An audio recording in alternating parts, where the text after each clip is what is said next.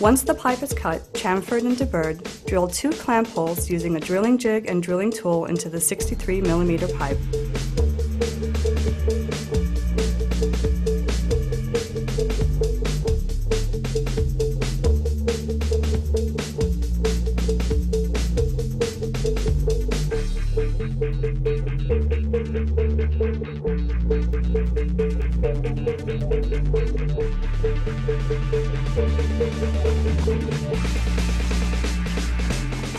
Connection of 63 millimeter components.